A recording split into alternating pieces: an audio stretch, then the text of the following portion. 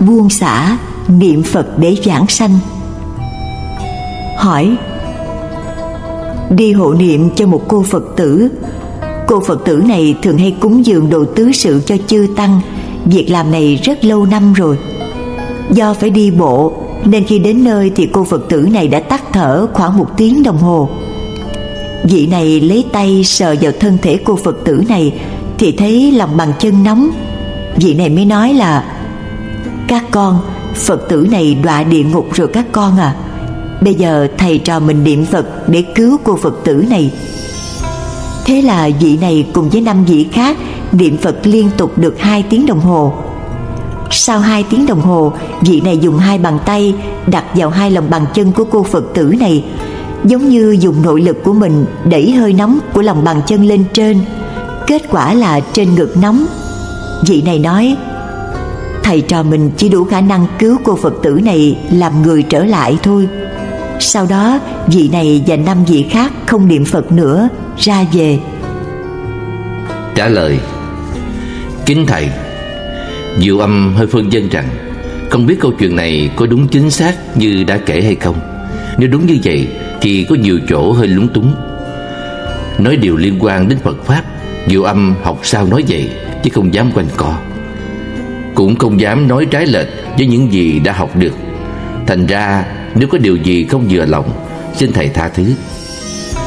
Trước khi đi vào câu hỏi chính phía sau, nhiều âm sẽ dựa theo pháp hộ niệm giảng sanh, xin nêu ra đây những điều lúng túng đã xảy ra chung quanh câu chuyện. Thứ nhất, chính cô phật tử này không tu tịnh nghiệp, không biết niệm phật, không biết đường giảng sanh. Cô ta chỉ là người tu phước thì có lòng được giảng sanh tịnh độ thứ hai cô phật tử đã tắt thở cả tiếng đồng hồ rồi mới có người tới hộ niệm như vậy thì quá trễ hộ niệm cần phải thực hiện trước khi lâm chung ngay thời điểm lâm chung và suốt thời gian sau khi tắt thở ít ra 8 tiếng đồng hồ niệm Phật không gián đoạn. Câu chuyện hộ niệm này không thực hiện được những điều này. Thứ ba, thân nhân trong gia đình hình như không có ý niệm gì về hộ niệm. Vì nếu có người trong nhà biết pháp hộ niệm thì chắc đã nhắc nhở đến rồi. Ở đây hình như chỉ để người chết như vậy một cách im điềm buồn hiu, không có một tiếng niệm Phật bên cạnh. Thứ tư, người tới hộ niệm nhưng xin thưa thật cách hộ niệm có nhiều điểm khác lạ nếu lấy pháp hộ niệm của tịnh độ tông thì cách hộ niệm ở đây đã phạm đến nhiều điều cấm kỵ như mới chết một giờ đã đụng chạm vào thân xác để thăm dò niệm phật mới được hai tiếng đồng hồ, lại đụng chạm vào thân xác nữa để thăm dò tiếp. Hộ niệm mà dùng chưởng lực hay nội công gì đó của mình để đẩy thần thức lên. Cách này diệu âm không biết, hộ Niệm mới được 3 giờ sau khi chết Đã vội vàng bỏ ra về. Nếu nói đến các cách hộ niệm khác Thì vừa âm không biết, Chứ còn dựa theo pháp hộ niệm giảng sanh của tịnh tông mà xét Thì sự hộ niệm kể ra trong câu chuyện này Không được hoàn chỉnh. Đầu không hoàn chỉnh, Giữa không hoàn chỉnh, Cuối cũng không hoàn chỉnh luôn. Đầu không hoàn chỉnh, Rõ ràng khoảng thời gian trước khi xả bỏ báo thân, chung quanh người chết, không có một dấu hiệu gì liên quan đến việc trợ niệm giảng sanh, không có người niệm phật cho cô. Cô phật tử chỉ chuyên cúng dường tứ sự cho chư tăng có nghĩa là cô đó chỉ tu phước, không chủ tâm niệm phật, không tha thiết nguyện giảng sanh nói chung, tính, nguyện, hành đều thiếu. Không biết đường về tây phương cực lạc không tu tịnh nghiệp thì chắc rằng khó mà biết đến pháp hộ niệm giảng sanh. Thật ra, hộ niệm cần phải chuẩn bị trước. Càng sớm càng tốt. Trong lúc đang khỏe mạnh, đang tu hành thì phải lo tìm hiểu, học tập và biết cách hộ niệm rồi. Đến lúc lâm chung là giai đoạn cao điểm và khi tắt hơi, cho đến tối thiểu 8 giờ sau là giai đoạn chót để hoàn thành việc hộ niệm. Chứ hộ niệm, không phải đợi chết rồi mới tìm người tới tụng kinh niệm phật đâu. Giữa không hoàn chỉnh, từ chỗ không tu tịnh nghiệp, không biết hộ niệm, nên thường cứ chờ chết rồi tính sao Người sống mờ mờ mịt mịt không biết làm gì, Người chết càng mờ mờ mịt mịt Không biết đường nào để đi. Thật sự tương lai quá mịt mờ đen tối. Ngược lại, Chính vì không biết, Nên người thế gian thường có những hành động sai lầm. Nói rõ hơn, Có thể những điều cấm kỵ Đã bị phạm phải rất nhiều. Trong suốt những ngày cô ta sắp rời bỏ báo thân. Cụ thể như tâm tham chấp thế gian không xả, trước cảnh bình đẳng sắp chết, chắc chắn sợ chết, lo âu, bất an hải kinh. Không biết đường giải thoát tam giới nên chới giới trong nghiệp báo. Bị nghiệp báo hiện hành, nghiệp khổ báo hại. Lúc đau bệnh không ai khai thị, hướng dẫn, nhắc nhở việc niệm phật giảng sanh. Tâm hồn mê muội dễ bị dướng phải cạm bẫy của quan gia trái chủ. Lúc sắp chết, bị sự buồn thảm, than thở, u sầu, làm cho tâm rối như tơ giọt lúc lâm chung, bị người thân khóc lóc, kêu gào thảm thiết, khiến tâm rối loạn, càng thêm rối loạn. Lúc tắt hơi, bị người nhà ôm ấp níu kéo, da chạm làm cho đau đớn, đến hồn kinh phách lạc nhiều gia đình còn phạm thêm các điều kỳ khác nữa như Người bệnh vừa mới tắt hơi Thì đem xác đi tắm rửa, thay áo quần. Vội giả mời bác sĩ đến chích thuốc chống rã, Chống hư thối, Kình cãi với nhau, Bất đồng ý kiến, Gây náo loạn bên người chết. Tận liệm quá sớm Do quay ngày, quay giờ. Những điều đại cấm kỳ này Mà bị phạm phải Thì thật là tội nghiệp cho dông nhân đây chính là những duyên xấu do hoàn cảnh và người thân đem đến khiến cho thần thức người chết bị đọa xuống cảnh giới đen tối. Người biết rõ phương pháp hộ niệm có thể ngăn ngừa được tất cả những ách nạn này. Cuối không hoàn chỉnh chính là sự hộ niệm có nhiều điểm sơ xuất mới một tiếng đồng hồ đã thăm dò hơi ấm. Hơi ấm trong khoảng thời gian này không thể chính xác được. Hộ niệm thiếu thành khẩn, thiếu lòng ngưỡng cầu Phật gia trị. Cụ thể như không cầu Phật lực của Đức Di Đà tiếp dẫn Mà lại dùng nội công của mình để đẩy. Đây là tự mình thay thế Phật để tiếp độ. Pháp hộ niệm này khá lạ lùng Khởi tâm hiếu kỳ trong khi hộ niệm. Vì vừa hộ niệm vừa thăm dò hơi ấm. Niệm Phật quá ít, quá ngắn Đã bỏ ra về, chưa đủ an toàn. Nên nhớ Những điểm ấm trong vòng 2-3 tiếng đồng hồ Cũng không thể chính xác được. Không có lời khai thị Hướng dẫn cho thần thức Tính nguyện hành giảng sanh. Không có lời điều giải đối với quan gia trái chủ Để gỡ nạn cho người chết. Nói chung sự hộ niệm đã có nhiều điểm sơ xuất hỏi cô phật tử này thường cúng dường đồ tứ sự cho chư tăng tại sao lại bị đọa địa ngục? Vì tôi đọc trong các kinh thấy nói rằng phước đức cúng dường đồ tứ sự cho chư tăng rất lớn. Trả lời cúng dường là tu phước tu phước thì tạo nhân phước, có nhân phước thì hưởng phước. Nhất định không thể nói, cúng dường tứ sự cho chư tăng mà bị đọa địa ngục được.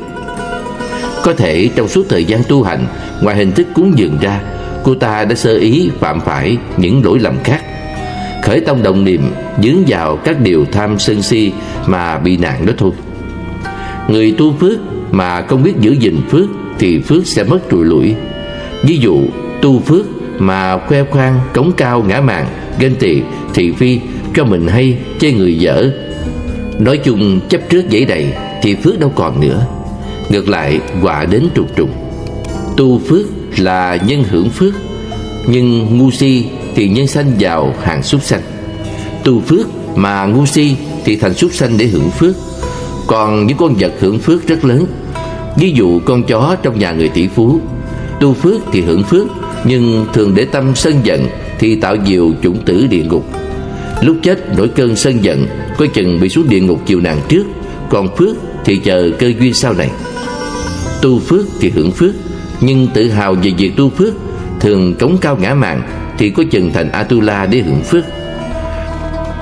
Tu phước, dù cho có lớn tới đâu, nghiệp thiện dù lớn tới đâu, cũng chỉ là phước báo nhân thiên nhiều lắm thì cũng chỉ đầu thai sinh lại trong tam thiện đạo là cùng. Nhất định không thể thoát khỏi tam giới. Cô này tu phước, không biết tu huệ, thì cơ hội thoát đi sinh tử luân hồi, quả thật mờ mịt. Đường tu hành thật sự còn nhiều điểm thiếu sót. Làm thiện mà chấp vào việc thiện thì không còn là thiện nữa. Phật dạy, tu phước có hai loại, hữu tướng tam luân và vô tướng tam luân tam luân là người bố thí, người nhận bố thí và vật bố thí. Hữu tướng tam luân là bố thí cúng dường, mà còn biết rằng mình bố thí cúng dường, còn biết người được bố thí cúng dường, còn nhớ món tiền mình bố thí cúng dường, thì sự cúng dường này không có công đức. Hữu tướng tam luân không thể liễu thoát sanh tử. Vô tướng tam luân hay tam luân thể không Là bố thí cúng dường, Nhưng phải biết quên nó đi. Đừng để nó giữ trong tâm, Thì việc thiện này mới có công đức. Công đức này sẽ trợ giúp tích cực Cho việc tiến tu đạo nghiệp. Người niệm Phật tu bố thí, cúng dường, Nhưng đừng chấp tại đó. Hàng ngày cứ đem tất cả phước lành gì tu được, hồi hướng cho tất cả chúng sanh, hồi hướng về tây phương cầu giảng sanh, thì phước lành này biến thành tư lương để giảng sanh thành đạo. Phước và huệ đều tu mới viên mãn đường đạo. Phước là sự, huệ là lý sự là bố thí, cúng dường, làm thiện. Lý là tâm nguyện giải thoát. Chỉ tu phước thiện, không lo đường giải thoát, thì tương lai còn lắm gian truân ngài tĩnh nam đại sư nói, thiền nghiệp càng lớn, sanh tử càng nặng. Là lời cảnh cáo những người tu thiện nhưng chấp vào việc thiện đã chấp vào việc thiện thì không giải quyết được chuyện sanh tử luân hồi. Còn ở trong luân hồi, thì còn dướng vào nghiệp báo. Còn theo nghiệp, thì ách nạn còn trùng trùng kinh hoa nghiêm có nói, quên phát bồ đề tâm mà làm việc thiện thì toàn là nghiệp của ma. Người không có tâm thoát ly sinh tử, không có tâm giảng sanh thành đạo mà cứ chuyên lo làm việc thiện, thì việc thiện này trở thành nghiệp ma. Vì sao vậy? Vì không ra khỏi tam giới. Không ra khỏi tam giới thì vẫn còn trong vòng kiểm soát của ma dương. Ma quán, ma sự, ma chướng, nghiệp chướng quan gia trái chủ chướng, báo chướng những thứ chướng ngại này nhất định phải đối đầu, không trước thì sao cho nên người hướng dẫn cho đại chúng tu hành phải hướng dẫn đường tu cho chánh, cho thẳng, cho liệu pháp, chứ không nên sơ ý dẫn chắc nửa dời mông lung, bất liệu giáo, làm cho chúng sanh lạc đường, tội nghiệp này khá lớn. Điển hình tại sao cô phật tử này tu hành lâu năm mà còn bị nhiều sơ suất vậy? Ta thử nêu ra một số trường hợp thường tình. Trong đó có thể cô ta đã dướng phải chăng? Một là ý niệm rằng tu hành chỉ là việc làm lành lánh dữ là đủ. Hai là Suốt đời chưa có dịp nghe được ai giảng đạo lý thoát ly sanh tử luân hồi. Đạo lý niệm Phật giảng sanh cực lạc Nên không biết đường tu chính xác. Ba là Có thể nghe Pháp nhưng không hợp căn cơ Nghĩa là Hoặc là cao quá Nghe toàn những đạo lý huyền diệu, cao siêu. Những pháp di diệu của hàng thượng căn cao dút trên mây xanh. Lý hay nhưng làm không được Là sinh ra dòng tưởng. Hoặc là nghe không đúng chánh pháp Mập mờ đường tu giải thoát. Bốn là có thể vì không biết chánh pháp Nên chính cô ta đã tự nguyện tu đường lục đạo luân hồi. Năm là mỗi lần làm phước đều được tiếng khen. Thấy vậy tưởng là đủ, là ngon, là đắt. Có ngờ đâu bên cạnh nhân phước này đã có rất nhiều nhân quả xảy ra. Kinh Địa Tạng Bồ Tát Bổn Nguyện có nói, Ở cõi Nam Diêm Phụ Đề này, Chúng sanh khởi tâm động niệm, Không có gì là không nghiệp. Như vậy, làm sao cô ta tránh khỏi tạo nghiệp chướng? Suốt đời tu phước, Tâm cứ lần quần trong chuyện phước báo thế gian, Thì ngàn đời dạng kiếp, Không có ngày thoát ly tam giới. Người không tu thì không biết đạo, Người có tu hành thì gọi là có đạo. Có đạo nhưng chỉ biết cái đạo bất liệu giáo, Cứ tu lần quần trong ngõ cục không biết đâu là đường thành đạo Thì rốt cuộc cũng uổng phí công phu tu hành Xin hỏi rằng trách nhiệm này quy cho ai đây? Hỏi Sư phụ của vị này đã dùng nội lực của mình để vận trưởng Đẩy hơi nóng từ lòng bàn chân lên trên ngực của người lâm chung Vậy có đúng với luật nhân quả không? Trả lời Phương pháp hộ niệm này lạ quá Trong pháp hộ niệm của chư tổ sư tịnh Độ Tông truyền lại Không có nói đến cách vận trưởng này. Hơn nữa Trong vòng 3 tiếng đồng hồ sau khi tắt thở Chưa thể xác quyết đường tái sanh. Phương pháp vận công này Diệu âm không biết nên không dám bàn đến. Hỏi Nếu như những vị học tăng này niệm Phật tiếp tục khoảng một thời gian nữa Có thể cứu cô này được giảng sanh hay không? Trả lời Trong kinh nghiệm hộ niệm Khi gặp trường hợp bị trở ngại Người đi hiện tượng xấu hoặc không tốt lắm nhiều ban hộ niệm đã phát tâm hộ niệm thêm. Thành khẩn khai thị, Thành khẩn điều giải quan gia. Gia đình thân nhân thành tâm lại Phật, Cầu giá bị, Thay cho người chết, sám hối nghiệp chướng. Có nhiều trường hợp liền sau đó đã chuyển tướng, từ xấu thành tốt đẹp vô cùng, thật bất khả tư nghị. Nhưng điểm chủ yếu vẫn là chính người đang bị nạn đó có chịu hồi đầu hay không? Người niệm phật quyết lòng giảng sanh thành đạo thì hãy tập buông xả mau mau buông xả thế trần xuống, đừng để quá trễ. Hòa thượng tịnh không dạy, Nhìn thấu buông xả tự tại tùy duyên niệm Phật. A-di-đà Phật Diệu âm kính thư, Ngày 23 tháng 6 năm 2009 Hồi hướng, Nguyện đem công đức này trang nghiêm Phật tịnh độ Trên đền bốn ân nặng Dưới cứu khổ tam độ.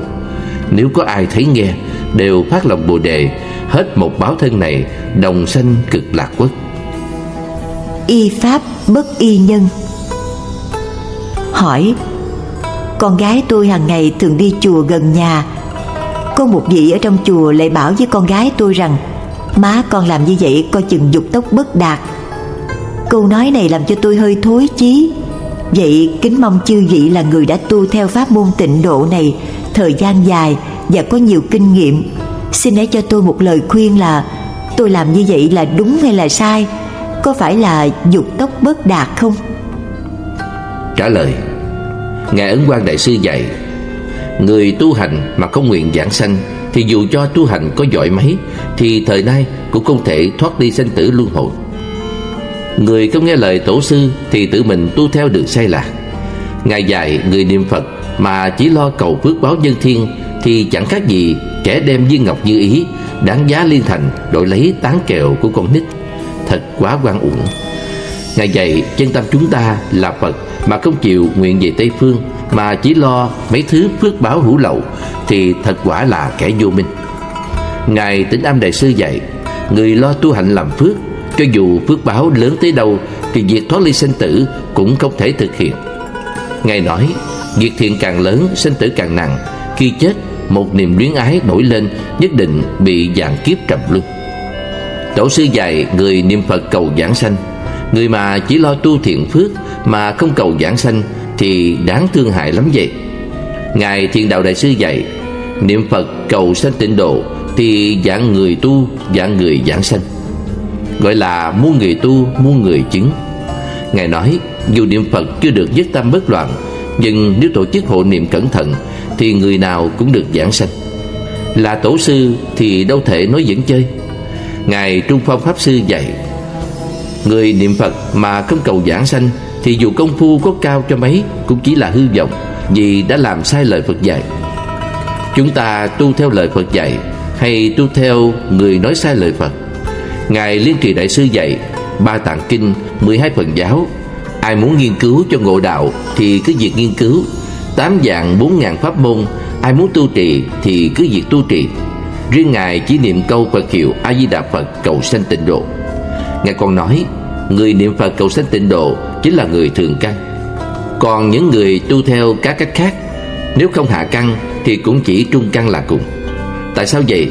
Vì chỉ có người niệm Phật cầu giảng sanh Mới có một đời này thoát đi sinh tử luân hồi, Bất thối thành Phật.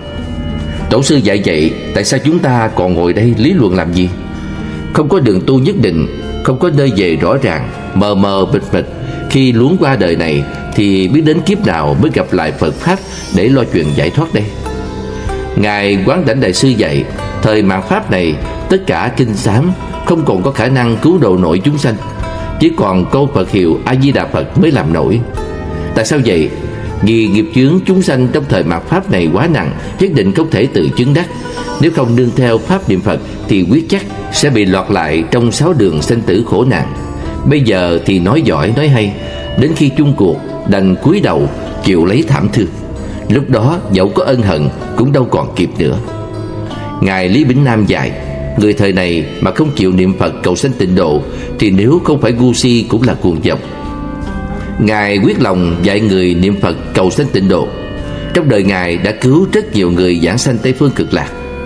Hòa Thượng Tịnh Không nói, Thời này, người nào không chịu niệm Phật cầu sanh tịnh độ, Nếu không phải là kẻ ngu si, Thì cũng là người cuồng vọng. Nhưng xét cho cùng, cuồng vọng cũng là ngu si. Vì thiếu trí huệ mới nghi lời Phật, Vì ngạo mạn mới làm ngược lời Phật. Người không theo pháp Phật, Làm sao xứng danh là Phật tử? Nếu không muốn một đời này thành đạo, Chỉ muốn nói sao nói, Muốn làm sao làm, Muốn đọa lạc nơi nào mà chẳng được. Trong những đạo tràng của Ngài, Ngoài việc niệm Phật cầu giảng sanh, Ngài không cho phép những hình thức tu hành đa tạp Trong những năm qua, Rất nhiều người niệm Phật giảng sanh ở khắp nơi, Truy cho cùng đều tu theo lời Pháp của Ngài. Tất cả chư tổ sư đều dạy chúng sanh trong thời mạt Pháp này, Hãy niệm Phật cầu sanh Tây Phương cực lạc để giảng sanh một đời thành đạo. Chúng ta nên thành tâm nghe theo lời chư tổ sư dạy để tu hành là an ổn nhất. Thật ra, không phải chỉ có chư tổ sư dạy Mà Đức Thích Ca Mâu Ni Phật cũng dạy rất nhiều trong kinh điển. Kinh A-di-đà bốn lần Phật dạy rằng Phải phát tâm nguyện sanh về Tây Phương cực lạc. Người nào nghe Ngài thuyết về cõi Tây Phương Mà tin tưởng, phát nguyện giảng sanh, Rồi chấp trì danh hiệu A-di-đà Phật, Niệm từ một ngày đến bảy ngày, Chuyên lòng nhất tâm khi lâm chung A Di Đà Phật và chư thánh chúng sẽ hiện ra tiếp dẫn về Tây phương cực lạc quốc. Phật dạy rõ ràng, tại sao người đệ tử Phật không tin theo. Phật không bao giờ giọng ngữ, Tại sao người học Phật lại nghi ngờ lời Phật dạy Kinh vô lượng thọ, Phật nói không biết bao nhiêu lần Phật dạy chúng sanh phải một lòng niệm câu Phật hiệu cầu giảng sanh Nếu người nào tin tưởng phát nguyện giảng sanh Và chuyên nhất niệm câu Phật hiệu thì dẫu 10 điểm trước phút lâm chung Mà không được giảng sanh, Thì A-di-đà Phật thề không thành Phật.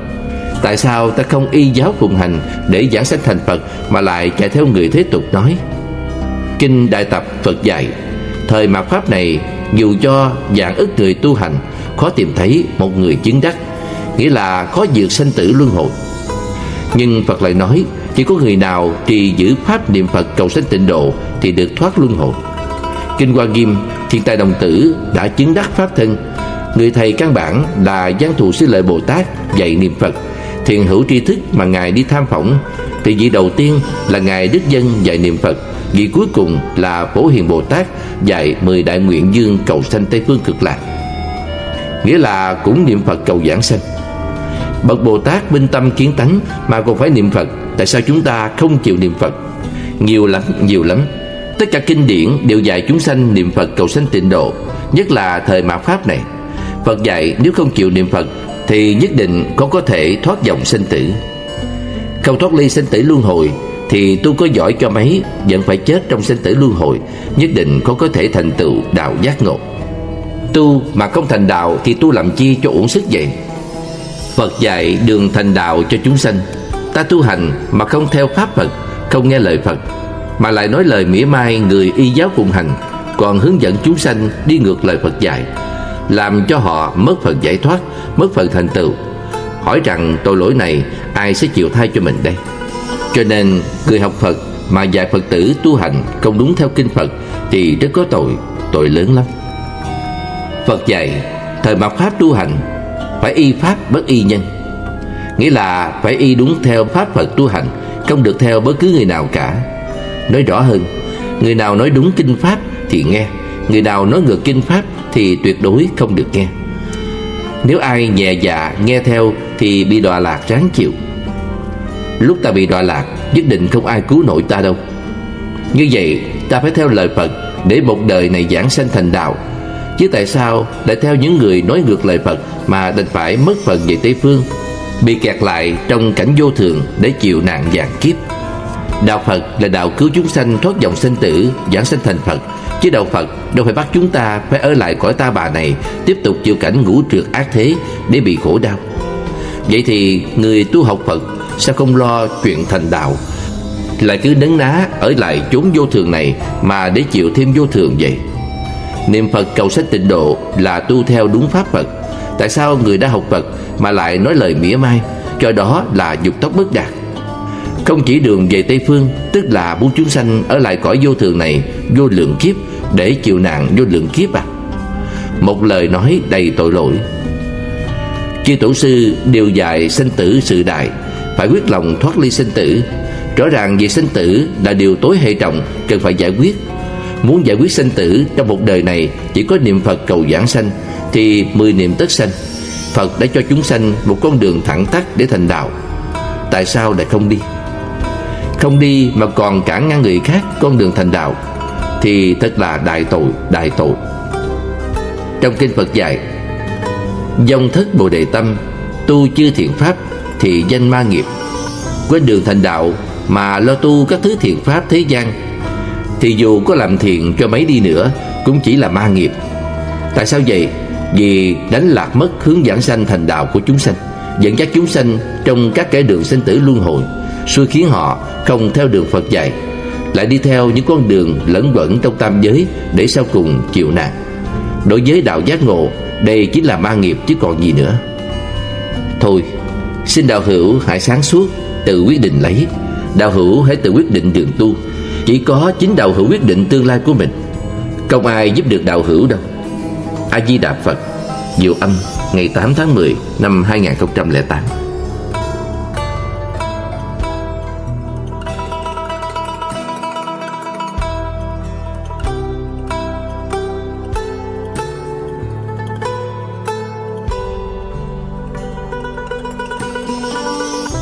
Niệm Phật một câu để tâm chúng sanh trở thành Phật.